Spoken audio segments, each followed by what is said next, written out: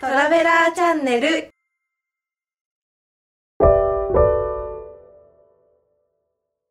はいどうも皆さんこんにちは。夕方6時になりました、えー今日も JST のトラベラーチャンネルをご覧いただきまして誠にありがとうございます、えー JST のハワイ担当の山田と申します。よろしくお願いします。アロハはいえー、と今日はですね、えー観光旅行再開のロードマップ発表ということで、えーまああんまり聞き慣れた名前じゃないかもしれないんですけども、えーこれによってハワイ旅行はどういう風になっていくのかっていうのをお話ししたいと思いますので、えーどうぞよろしくお願いいたします。えーと7月の終わりにですね、え観光旅行再開のロードマップっていうのを、出ました。これどこから出たかというとですね日本旅行業協会 JATA ですね、えーこちらの方から出ました。これはあの旅行業協会の団体で、えーまあ、いわゆる我々がの加盟してるんですけど、えー基本的に加盟してる会社は多いです。で、えーそこを取りまとめてる団体で、えーそこからあいろんな提案を政府とか航空会社に、えーしてるという機関でもちろん旅行会社のまあ、取りまとめの、えーまあ、いわゆる会みたいなものなんですけども、えーこちらの方が、え発表したロードマップっていうのがあります。で、えーそれに伴って、えー観光旅行を再開を、えーしていく案というかですね、えロードマップというのを出してそれによって、えまあいろんな人に働きかけをしたりとかしていく指標となるものをですねでここからハワイ旅行はどういうふうになっていくのかっていうのを読み解いて、えーった結果のお話をしてみたいと思いますので、えよろしくお願いいたします。はい、これがあの、えー JATA が出した日本旅行業協会が出したこれ JATA ですね、えー海外旅行再開に向けたロードマップということです。でただただいま今9月の段階なんですけどもまず、えー国内接種の状況ワクチンですね、えー9月の終わりから10月の頭にかけて、えー全国民の50%が接種完了というふうに、えーまあ、予想しています。えーまあ、2回打たないといけないので2回打って、えーこの時期ですね、まあ、10月の頭にずれ込む可能性もあります。それから11月の終わりから12月の頭にかけて80%これいわゆる指標ですね。80%接種完了すると集団免疫の獲得が取れるんじゃないかと言われてるんですけどでも、えー80%でも集団免疫は取れないんじゃないかなっていうそういう、まあえー医師の提言もあるぐらいですので、えーこの辺がどうなるかわからないんですけども一応国内接種をするとこういう状でこれに伴って下の3つの要素ですね。イベントがどういうふうになるか。イベント例えばあ先日、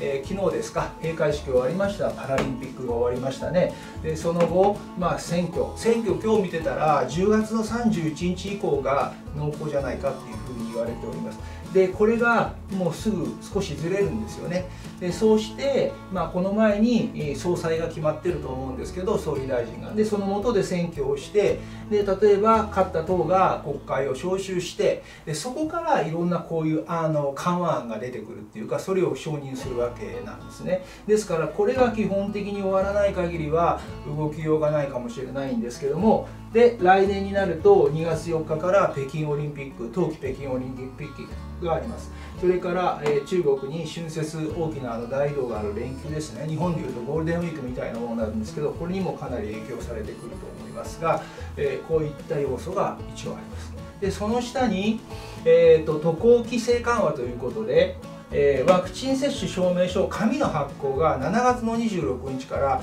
えーまあ、各区役所役場で、えー証明書を出してくれることになりました。これをもって、えまあ、ワクチン接種証明書があればレストラン入店していいよとか、え入国も緩和されるとかね、えそういったあルールが、え決められました。で、えまあ、もちろん日本帰国後の14日間の隔離っていうのは、えあるんですけど、えそういったものが決めてました。でえー、とビジネストラック再開っていうふうに9月からなってますけどまだ再開にはなってないです、えー基本的にあのビジネストラックもしくはレジデンストラックから再開すると言われてるんですけどビジネストラックっていうのはまあそれぞれ日本とそれから、まあ、ある国で出張する場合に、え計画書を出してでその計画書のもとに動いてもらえれば、まあ、隔離を3日間ないしもしくはなしにするよというようなこういうのを再開するかどうか。で、えこれにデジタルヘルスパスポートの運用開始12月から運用開始をした時に本格的に国際往来の再開段階的って書いてありますけどこれとこれが、まあ、いわゆるコンビになってるということですねデジタルヘルスパスポートと運用開始というのが。で入国入国者数上限人数制限見直し、まあ、日本に帰ってくる入国者数とか例えば今私があの7月にハワイ行った時も、えー、っと JAL の機内には半分も乗ってなかった。3分の1ぐらいなんですけどこれどうしてかっていうと日本の検疫の体制が人数がそんなにたくさん係官がいるわけじゃないので飛行機の中の入国者制限制限をしてるわけですね。ですからそれに伴って、まあ、外務省の感染症危険レベル引き下げを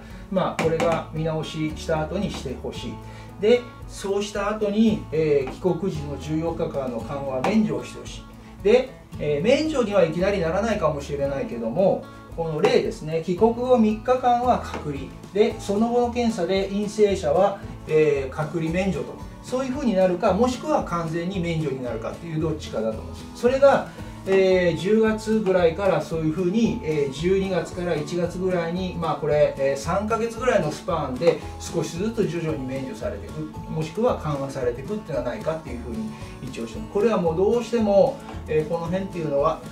感染者数との兼ね合いっていうのがありますからワクチン接種と。ワクチン接種してもブレイクスルー感染で感染者数がどうしても出てしまうっていうのもあるので慎重に慎重にということで日本は島国なので、えー、政府の方が動いてます。ただここの総選挙が終わって国会が召集されない限りこの辺の見直しっていうのは、えー、すぐはできないんですけど、えー、基本的にこういった動きが、えあることはあるということですね。先に準備をしといて提言するという形なんですけども。で、えー、JATA 日本旅行業協会の活動としてはもう6月24日に、えー、経団連に、えー、まあ、提言書を出してるんですね。もう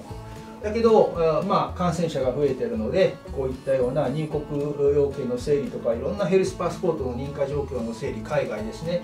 一応やってワクチン接種拡大に伴う入国規制緩和に向けた活動っていうのもやってでヘルスパスポートいわゆるあのデジタルパスポートがどういうふうになるかとかねえー、まああの JATA 自体が海外視察団海外に行って、え海外がどういうふうな感染症対策をしているかとか、えそういった実態を把握したりとかしながら、えー、まあ、この辺も含めて、まあ、結局12月ぐらいから11月ぐらいからかな動きがいろいろこういうふうにあの出てくるんじゃないかなというふうに言われております。でえー、まあ基本的にですね、えー、海外旅行自体はあ本当に少しずつ緩和されていくと思うんですけどそれが12月なのか11月なのか1月なのかこの辺の3ヶ月が、まあ、勝負になるんじゃないかなというふうにこの、えー、いわゆるロードマップから見てるとあのあると思います。で大体1月から3月の間に、えー、緩和をしながら飛行機が定期便が飛んでいく形になるっていうふうに言われてるんですけど、まあ、感染者数がまた増えてしまうとまた元に戻ってしまったりとかするんですけどもう今各区に、えー、っとまあ、ワクチンを武器にしてえー、いわゆるあの経済活動もしないといけないということで、えー、日本以上に、まあ、私もあのハワイって思ったんですけども、えー、アメリカの人っていうもしくは、え日本とは違う考え方を持ってるのももちろん海外の人ですけどもやっぱり、えワクチンを接種してでこれだけの数になったらもう経済活動をしようと。そうでないとやっぱり、えもう国も州も持たないということで、え実際にはもう両方動いてるんですね。もちろん感染者数を抑えるクチンそれから経済活動をするというようなだから元には戻らないというふうにあのハワイ州のイゲ知事なんかも言ってるんですけどじゃあこれをもとにハワイ旅行どうなるかっていうことなんですけども、えー、パッケージツアーで再開っていうふうになってますけども いわゆる、えー、パッケージツアーだと管理型なので、えー、誰がどこに泊まってどういうふうに帰るかっていうのは旅行会社が把握できるんですね。そうするとまあ、感染経路もある程度分かるしどのその人がどんなような動きをしてるかっていうのも旅行会社で把握してるんですね。で個人旅行の場合は本当にその人に聞かないとその人の行動があやふやだと分かんない部分もあってもちろんその人は分かってればいいんですけどで、えー、まあ、パッケージツアーで再開管理してるから再開するんじゃないか。もちろんそのハワイでパッケージツアーで再開っていうのはなかなかこれ、えー、どうかなっていうのはあるんですね。個人旅行がありますから。ハワイはもう本当に個人旅行が半分ぐらいになってる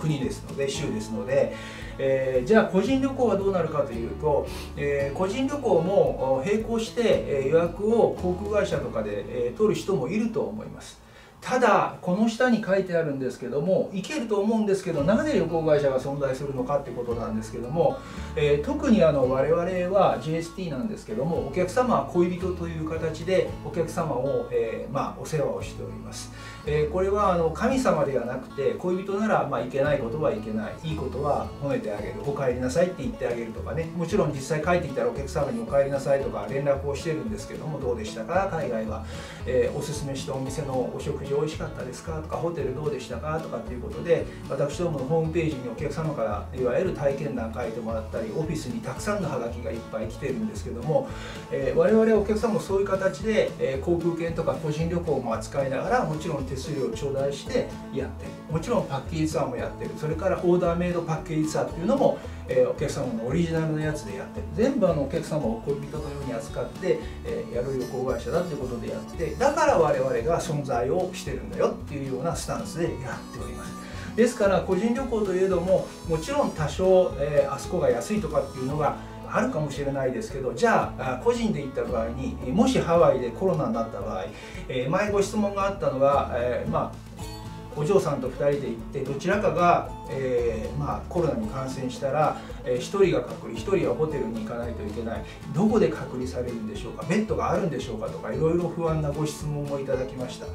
えー、でその時に個人旅行の場合、え例えば英語が喋れないと全部自分でやらないといけない。ホテルの例えばキャンセルとか交渉とか飛行機会社とか全部自分でやらないといけないんですね。もうこれはすごい大変だと思います。でパッケージツアーの場合旅行会社を通じた場合個人旅行で旅行会社を通じて行った場合我々に連絡が来ますし我々に1本現地からメールとか連絡いただければすぐ動けるんですねもちろん時差を考えてその考えた時間に動くようにはしてるんですけど、えー、ハワイだったら19時間の時差がありますけども基本的に朝やれば、えー、大体間に合うんですねいろんな手続きが。だからだから我々が存在しているっていうのがあると思いますので、えー、まあ本当に個人旅行といえどもパッケージ旅行というのも今後は我々みたいな旅行会社を通じてですね、えー、まあ旅行を予約していただいてで安心安全のもとに、え、ハワイの方に行っていただきたい。で我々あの会社の中にハワイ専門のセクションがあって私はその責任者をしてるんですけどもやっぱりあの、え、ガイドブックでは、え、教えてくれないような過ごし方とか、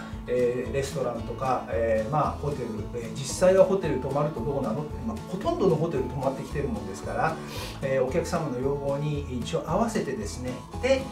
こっそりとこっちの方がいいよとかいろいろおすすめもあるんですね。だから旅行会社ってそういうふうのためにお客様のために存在しているということがありますから、まあ、個人旅行といえどもパッケージ旅行といえどもですね、えー、ハワイに関してはぜひお問い合わせをいただければでしかもあの来年以降にね照準を向けて、えー、3月のですねえー、卒園記念とかですね、えー、卒業旅行何かで、えー、まあ、考えて準備していただくのが一番、えいいんじゃないかなというふうにはまずは思う次第でございます。まあ、もちろんもっとそれよりも早く行ければ年末年始クリスマスっていうお楽しみもあると思うんですけどまたあの定期便が再開しましたらいち早く、えこちらのトラベラチャンネルで、えご案内したいと思いますので、えよろしくお願いします。えー、今日の動画が、え、参考になったという方はぜひ高評価とチャンネル登録の方を、え、よろしくお願いいたします。またトラベラチャンネルでお会いしたいと思います。マハロー！